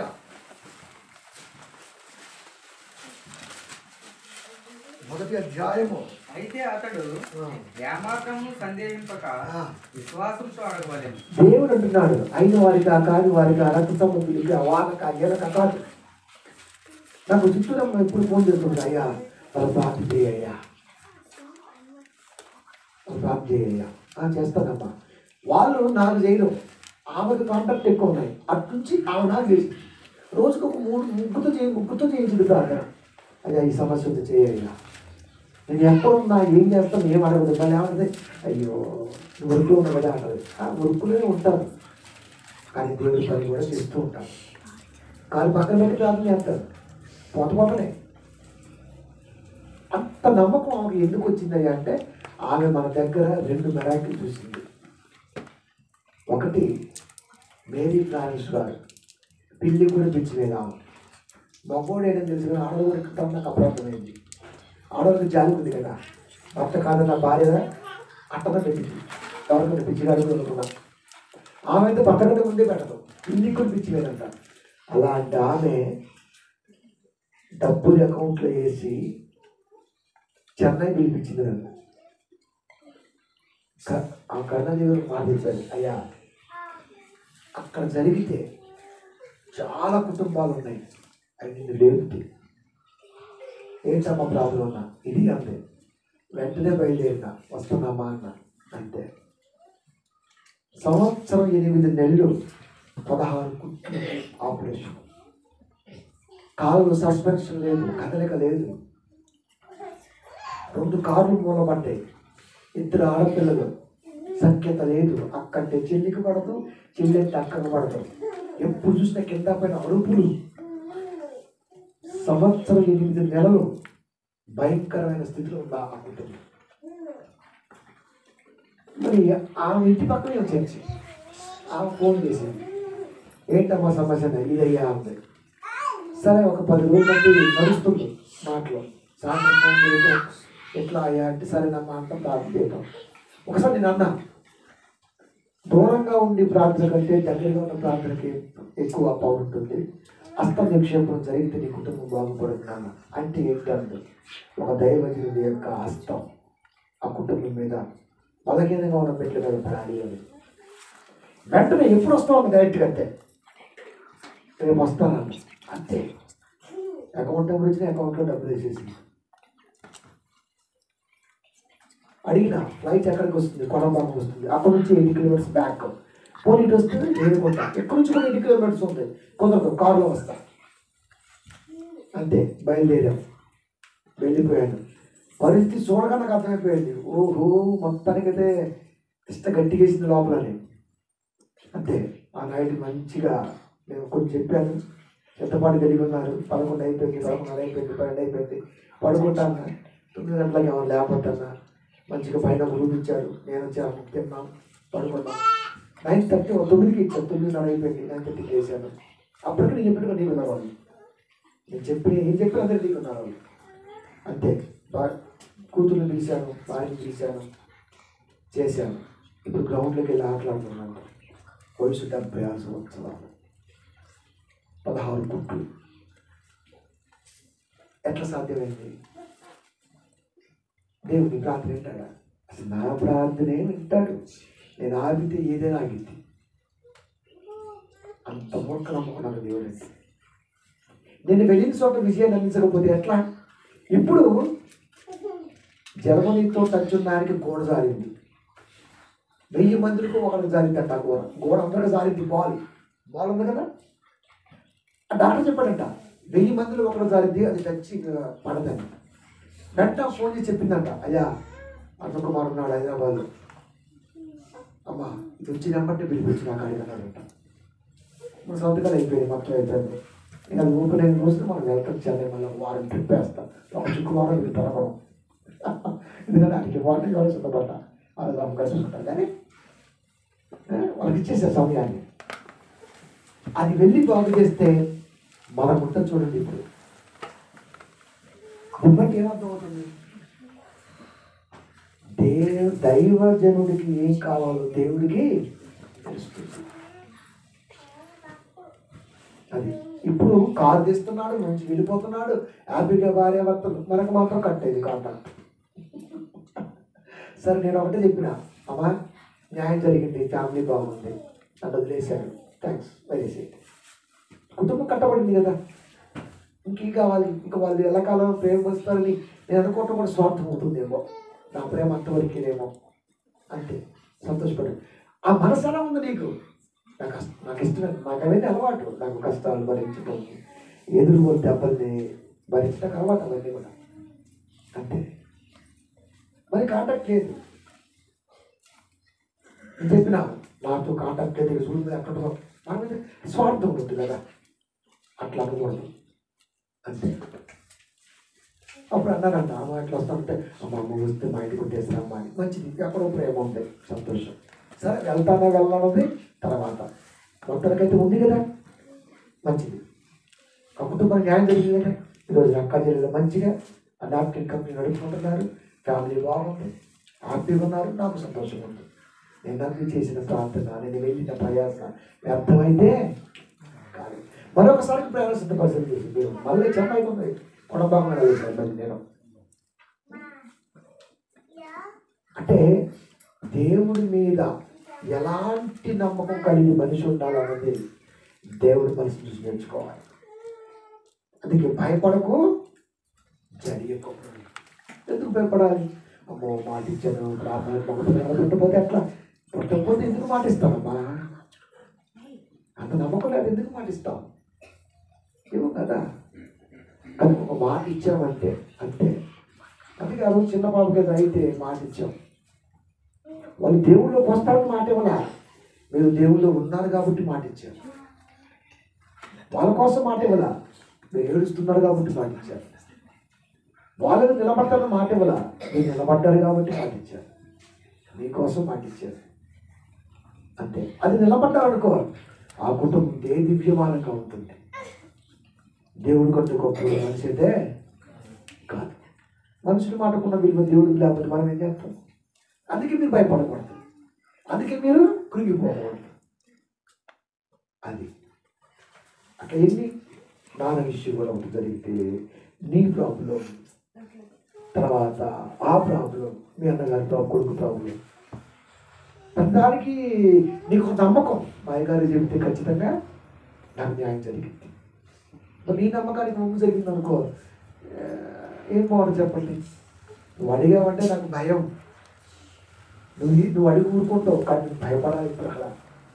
నేను వచ్చి ఫోన్ వస్తే ఫ్రీగా మాట్లాడితే ఓకే కానీ ఒక సమస్య చెప్పామంటే నాకు భయం అయింది అది తీరకపోతే ఎట్లా? అంతే కదా? అది కనుక ఆ బాబుకి ఏం కాదు. ఏ దుష్ట శక్తి ఆ పాప సైడ్ కూడా రాదు. ఏమి టెన్షన్ పడమాట వాళ్ళు నమ్మని చెప్పట్లేదు. నేను నమ్మాను కాబట్టి చెప్తున్నాను మీరు నమ్మకం ఉన్నారు కాబట్టి చెప్పాను. ఇది బలం. ఎదుటివాడి మైనస్ మన కొరగా తీస్తున్నా మనం దేవుని సొత్తుగా అనుకున్నాం ఉంటున్నాం కాబట్టి ఇది మన బలం. యెహోవా నాకు బలమైనడు అది బలం. చిన్నపిల్ల దేవుడితో సమానం. దేవుడు ఊరుకుంటాడు మనం ప్రార్థన చేస్తే న్యాయం చేయడా? చేస్తాడు. అది మన నమ్మకం. ఓకే ముందుకెళ్ళా లాస్ట్ పత్రంలోకి వెళ్దాం రెండవ కొనుక్తి ఒకటి తొమ్మిది.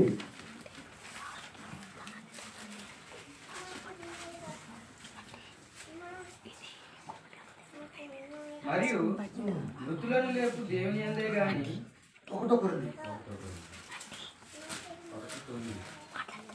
మన ప్రభు అని యేసుక్రీస్తు అను తన కుమారుని సహ సహవాసమునకు మిమ్మల్ని పిలిచిన దేవుడు నమ్మలేనివాడు దేవుడు నమ్మదగిన వాడు. మీరు నా సొత్తు ఇజ్రాయేల్ మీరు నా సొత్తు నేను మిమ్మల్ని పిలుచుకొని ఉన్నాను చెప్తున్నాను అదే మాట. మన ప్రభుత్వ యేసుక్రీస్తు అను తన కుమారుని సహవాసమునకు మిమ్మల్ని పిలిచిన దేవుడు. తన మన ప్రభు అయిన యేసుక్రీస్తు అను తన కుమారుని సహవాసానికి పిలిచానే ఆ దేవుడు నమ్మదగిన వాడు. నీ సహవాసం యేసుక్రీస్తు వారితో ఉండాలి అని పిలిచాడు దేవుడు. ఇప్పుడు నీ సహవాసం ఎవరితో? నీ స్నేహితుడు ఎవరు? ఒక స్నేహితుడితో మాట్లాడినట్టు దేవుడు మోసేతో మాట్లాడాడు. ఫ్రెండ్స్ ఎలా మాట్లాడతాం? అలమరక లేకుండా మాట్లాడతాం మనం. అరే వరే అనుకుంటా అన్ని మాట్లాడుకుంటాం మనం. మంచి నమ్మకస్తులతో అందరితో మాట్లాడడం కానీ మంచి నమ్మకస్తులతో అన్ని మర్చుకుంటాం ఇప్పుడు అంత నమ్మకం లోపల ఎక్కడ లేదు. మనం ఏమైనా చెప్పినా మళ్ళీ మళ్ళీ కాపేసే టైం తిరిగి సో ఇప్పుడు నువ్వు మౌనం ఉంటే వేస్తారు అది పక్కన పెట్టి కానీ. నిజమే? దేవుడు తన స్నేహితుడితో మాట్లాడినట్టు మాట్లాడంటే మూసేయగలుగుతాం అది. దేవుడు తన స్నేహితుడితో మాట్లాడినట్టు మోసేగారితో మాట్లాడినప్పుడు అంత నమ్మకం అందరితో పంచుకోలేము కొన్ని సంగతులని కొంతమందితోనే షేర్ చేసుకోగలం కనుక తన కుమారుని సహవాసానికి మిమ్మల్ని పిలిచాడు దేవుడు. తన కుమారుడు యేసుక్రీస్తు వారు. యేసుక్రీస్తు వారితో సహవాసం లోకములో అంతటి ఈక్వల్ సహవాసం ఎక్కడ దొరికిందా? దొరికిందా? ఇంపాసిబుల్ అది. ఆ సహవాసానికి ఆది లేదు అంతటి లేదు. ప్రారంభం లేదు ముగింపు లేదు. వన్స్ ఒక్కసారి నమ్మి యేసుక్రీస్తు వారితో నడిస్తే అదే టేస్ట్ అనిపించింది. ఆ సహవాసమే అది. అది పిచ్చింది అది నా బలం అది దేవుడు నా సహవాసం దేవుడు నా ఫ్రెండ్ ఈజ్ మై ఫ్రెండ్ మనం ఏం చెప్తుంది సార్ దేవుడు అని చెప్పేసి దూరంగా పెడుతుంటాం. ఆయన ఏమో ఫ్రెండ్ అంటున్నాడు. నువ్వు నా సొత్తు నువ్వు నా ఫ్రెండ్ అంటే నువ్వు దేవుడివి నువ్వు దేవుడు దూరం పెడుతున్నావు ఎవరు? దేవుడు స్నేహితుడైనప్పుడు యేసుక్రీస్తు వారు స్నేహితుడిగా ఉండాలని నిన్ను నన్ను ఏకం చేసినప్పుడు ఆ స్నేహ బంధానికి సహవాసం అంటే అరణ్యానికి లేనిది అంటే యేసుక్రీస్తు వారితో సహవాసం ఎలా ఉంటుంది సార్ ఇలాగే ఉంటుంది. ఆ సహవాసానికి పిలిచారు దేవుడు. అంటే లోకంలో ఎవరు లేరు? సహవాసం చేయడానికి అక్కలు లేరా చెల్లెలు లేరా తమ్ముళ్ళు లేరా బాబలు లేరా బంధువులు లేరా? ఎవరు లేరు? వాళ్ళంతా మనతో ఉండే వాళ్ళైతే కాదు. మనం గట్టుకున్న ఉన్న వాళ్ళకు కుళ్ళుకుంటారు తక్కువ ఉన్న వాళ్ళకు మన దగ్గరకు సొల్లేస్తుంటారు నీళ్ళు చుట్టుంటారు కాస్త ఇంటి వరకు తక్కువ ఉన్నాం అనుకో వాడు ఎంత ఎదవైనా మన కాడికి వచ్చి నీళ్ళు చుట్టుంటాడు అదే మనం కాస్త రేంజ్లో ఉన్నాం అనుకో మనకు మనతో సహవాసం చేయడానికి ప్రయత్నం చేస్తుంటారు ఇది టెంపరీ సహవాసం. ఈ ఫ్రెండ్షిప్ ఎప్పుడు కూడా పని పని కాదు అందుకనే వన్స్ ఒక్కసారి నమ్మి బాప్తీసం తీసుకొని యేసుక్రీస్తు వారితో సహవాసం కలిగామంటే మిగతా అన్ని ఫోన్ బూస్ట్ అయితే ఎలాగైతే వెళ్ళిపోతే లోపలికి వెళ్ళిపోవాలి. పక్కకి వెళ్ళిపోవాలి. అంటే ఎంత గొప్ప సహవాసం చూడండి. రియల్ ఫ్రెండ్షిప్ అంటే అదే. నిజమైన సహవాసం అంటే అది. అలాంటి సహవాసం ఎవరు కలిగి ఉన్నారు ఈ రోజున? అందుకే జీసస్ ఈజ్ రియల్ ఫ్రెండ్ ఆ సహవాసానికి దేవుడు పిలిచాడు. ఎక్కడి నుంచి? చీకటిలో నుండి. ఒకటో పేదలు రెండు తొమ్మిది. చీకటిలో నుండి ఆశ్చర్యకరమైన తన వెలుగులోనికి మిమ్ముని పిలిచాడు. అది. ఆశ్చర్యకరం. దేవుళ్ళు ఎలా వచ్చాము ఎలా ఉన్నామన్నది మెరాకిల్ అది నా బలం. చీకటి అనగా లోకం. లోకం నుంచి దేవుళ్ళకి ఎలా వచ్చామో? అమ్మో ఎన్ని కష్టాలు పడ్డాము నాయనో ఈ స్థితికి రావడానికి అని మనం ఎదిగిన స్థితి చెప్పగలం. అంతే కదా? కుటుంబంలో ఉన్న ఎదిగిన స్థితి చెప్పగలం. కానీ దేవుడు ఎదుగుతున్న స్థితిని చెప్పడానికి మాటలు సరిపోవు. అంత గొప్పగా ఎదగలిగిన స్థితి ఈ రోజున ఈ కుటుంబంలో మీరు పుట్టుకుంటూ ఉన్నారని నేను చిన్న చిన్న మచ్చలు మరకలు అప్ అండ్ డౌన్స్ ఉండొచ్చు జీవితంలో. బట్ ఇప్పుడు కూడా ఒక దైవజనుడిగా నాకు దేవుని వాక్కుగా దేవుడిగా ఆయనకి కనపడదు. ఆ విషయంలో మీరు ఏమి బెంబులెత్తుకోవాల్సిన అవసరం అయితే లేదు. లాస్ట్ మాట. రెండవ దిన వృత్తాంతముల గ్రంథము ఇరవయవ అధ్యాయము పదిహేడవ వచ్చినాము రెండవ దిన వృత్తాంతముల గ్రంథము.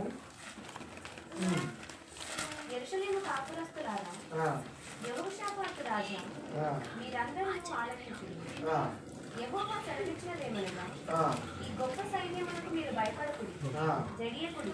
ఉమ్, యుద్ధము మీరు కాదు ఆ. దేవుడే జరిగించుడు ఆ. చూసారా ఈ యుద్ధము మీది కాదు దేవుడే జరిగిస్తాడు. దేవుడే యుద్ధములో మీరు పోట్లాడవలసిన నిమిత్తము లేదు. యోధా వారులారా ఎరుశలేము వారులారా మీరు యుద్ధ పంతులు తీర్చి నిలవబడుడి. మీతో కూడా ఉన్న యెహోవా దయచేసి రక్షణ మీరు చూసేటప్పుడు భయపడకుడి జడియకుడి. నేను వారి మీదకు పోవుడి యెహోవా మీతో కూడా ఉండను. యుద్ధం పంతులు నిలబడండి ఏం చేయాలని చూసుకుంటా. అది శ్రద్ధ మనసు కలిగి ఉండండి మీకు ఏం కావాలని చూసుకుంటా. దేవుడు నమ్మి ఉండండి మీకు ఏం కావాలో నేను చూసుకుంటా. యుద్ధం నేను చేస్తా. మిమ్మల్ని ఏది బలహీనపరచదు. భయపడవద్దు జాడవద్దు ఎదుటిగా ఎంత ప్రాబ్లం కనపడుతున్నా అస్సలకి భయపడవలసిన అవసరం లేదు. యుద్ధము యోగవాదే యుద్ధము యుద్ధమాదే మనం చేయవలసిన అవసరం లేదు. ఏమన్నా సార్ మీరు యుద్ధ పంతులు తీర్చి నిలబడి ఉండు సిద్ధం కూడా అంతే. అంటే ప్రార్థన జీవితంలో ఉండండి చాలు. ఏం చేయాలని నేను చూసుకుంటా. ఇంకెంతకంటే ఏం కావాలి? రక్షణ మీరు చూస్తారు. భయపడకూడదు చర్యకటి మనం చేస్తే ఏం చేస్తూ? ఉంటుంది చెప్పండి. ప్రార్థన జీవితంలో వాక్యానికి సరెండర్ అయ్యి సమయాన్ని ఇస్తూ దేవుళ్ళు సాగుతూ ప్రతి సమస్యని గెలవాలంటే ఎందుకు చేయాలి మరి? అది దేవుడి మీద వదిలి మీరు నిలబడితే చాలు నేను చూసుకుంటా. మనం ఏదో చేద్దామని పోతే కుదరదు. దేవుడి మీద భరోసా వేస్తే చాలు. ఆయన చూసుకుంటాడు. ఎవడు రావాలో వస్తాడు ఏం చేయాలి అది చేసిపోతాడు. అది. అది నమ్మకం. మనం చేయ మనం చేయాల్సిన లేదు. మనం చేయాల్సిన సంవత్సరం అయితే లేదు. అంతే ఎంతో ఆయన చేస్తాడు. ఆయన కనబడని శక్తి కదా మన దేవుడు అంటే కాబట్టి ఎంతటి సమస్య వచ్చినా భయపడక జడియక ఒక మంచి ఆలోచన కలిగి ప్రార్థన జీవితంలో ఉండి ఈ సమస్యని ఖచ్చితంగా నాతో ఎలాగో షేర్ చేసుకుంటారు? అలా చేసుకుంటూ ఉంటే మీకు వాక్యం ద్వారా లేకపోతే దేవుడి మాట ద్వారా నా నోటి నుండి మీకు వచ్చింది మంచి భరోసా. వరకు దాన్ని ఆస్వాదిస్తూనే ఉన్నారు. ఇక ముందు ఆస్వాదిస్తూనే ఉంటారు. కనుక ఈ గృహంలో ఉన్నటువంటి వారికి ఏ సమస్య కూడా దేవుడి పక్షాన ఆయనకు అప్పగిస్తే చాలు ఆయన చూసుకుంటారు అంతే. కనుక ఇక్కడ నేర్చుకోవాల్సింది ఏంటంటే భయపడకుండా కంగారు పడకుండా ప్రతి దాన్ని క్షుణ్ణంగా ఆలోచించి పరీక్షించి తీసుకోగలిగిన రోజున ఆ స్థితికి ఎదగలిగిన రోజున ఖచ్చితంగా లోపలికి వెళ్ళాలి కదా ఒకసారి? మనం చెప్పాము ఎక్కడికి పోయితే హాస్పిటల్కి ఏదైనా కానివ్వండి. సరే ఏదైనా కానివ్వండి. ఒక సమస్య ఒక చోట ప్రయాణం చేయాలా? కానీ అదే చెప్తున్నా. అవునా? అదే చెప్తున్నా నేను కూడా. కదా? అంతే కదా? ఆయన దగ్గర ఏముంటుంది? మీ నమ్మకం మనం చేసే ప్రార్థన ప్రతి స్థలమందు ఆయన చూసే కనిపిస్తుంది. అదే సక్సెస్ఫుల్ రేట్ అంతే. డాక్టర్ ఏమన్నా ఆర్థిక రామే కదా? ఆర్థిక మెక్కడ గుండే కదా? దేవుడు ఇది నమ్మకం అంటే. ఈ నమ్మకాన్ని ఎప్పుడు నేను అలాగే కలిగి ఉంటాను మీరు కూడా అలాగే ఉండండి.